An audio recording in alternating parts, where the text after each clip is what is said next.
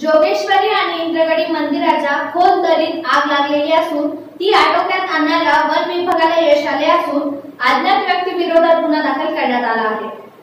बुधवारी जोगेश्वरी आणि इंद्रगडी मंदिराच्या खाली अतितीव्र उतार तसेच दुर्गम ठिकाणी आग लागली होती. घटनेची माहिती मिळताच आर जी सपकाळ वन परिक्षेत्र अधिकारी सोयगाव वन परिमंडळ अधिकारी बनोटी अनिल पाटील हे तात्काळ घटनास्थळी दखल झाले.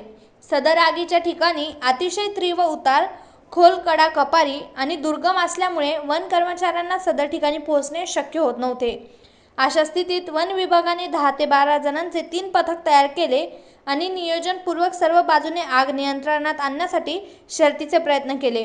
वन कर्मचाऱ्यांना सदर ठिकाणी उभे राहणे देखील अवघड होते. तरी देखील माघार न घेता वन परिक्षेत्र अधिकारी यांच्या मार्गदर्शनाखाली अखेर पहाटे चार वाजताच्या सुमारास आग पूर्णपणे विझवण्यास वन विभागाला यश आले. यावेळी तीन ते चार कर्मचाऱ्यांना किरकोळ दुखापत देखील झाली आहे. इंद्रगडीचा परिसर हा अतिशय तीव्र उतार आणि खोल कडा कपारीचा असून दुर्गम आहे. त्या ठिकाणी पोहोचून आग विझवणे अतिशय मोठे आव्हान आहे.